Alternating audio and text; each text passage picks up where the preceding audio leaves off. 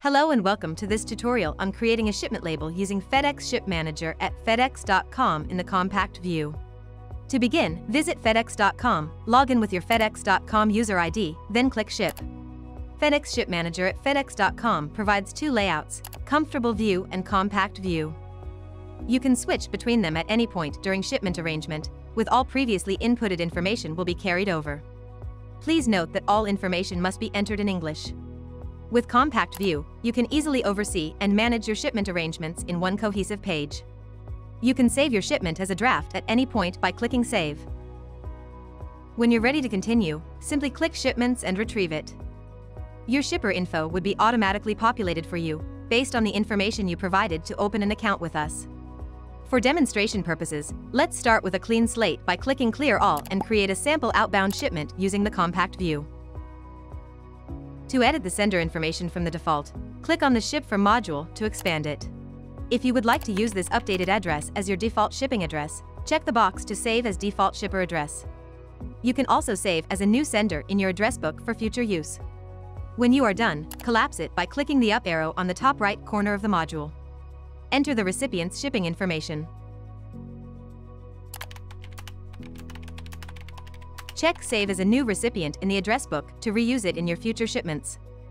If you want to use higher liability coverage and enter an amount in declared value, an additional fee will be applied. Refer to the surcharge pages on FedEx.com for details. For shipments containing dry ice, non-standard packing materials, or lithium batteries, check Add Package options and choose the appropriate item.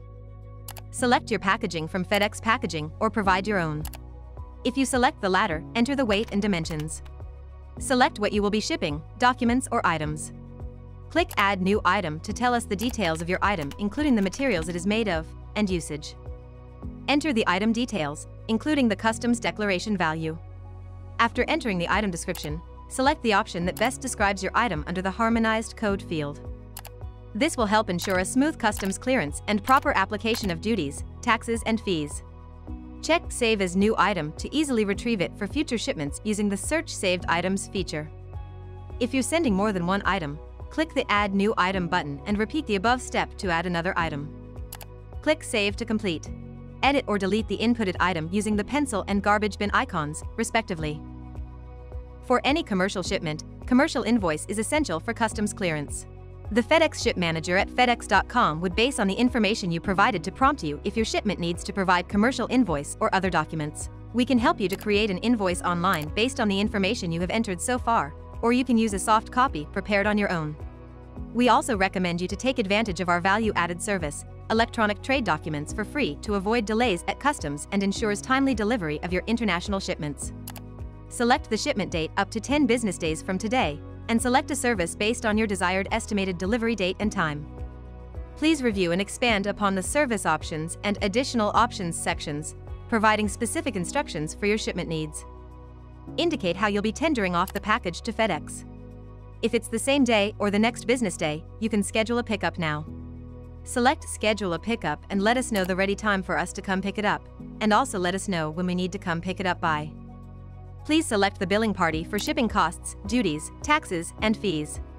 If you choose the recipient or a third party, please ensure that you have entered a valid 9-digit account number. If you are shipping to EU, we would recommend you to put your EORI number on the tax ID field to avoid customs delay. If you want to receive email notifications, please select Add Shipment Notifications, enter the required email addresses, choose the preferred languages and notification scenarios. After verifying that all the information is correct, the fees and estimated delivery time will be displayed. Click Finalize. Once you see the thank you page, you can download your shipment label for printing. If you're planning to organize similar shipments in the future, just click on Save as Shipment Profile. This will allow you to save it as a profile and easily access and edit it from your list of shipment profiles.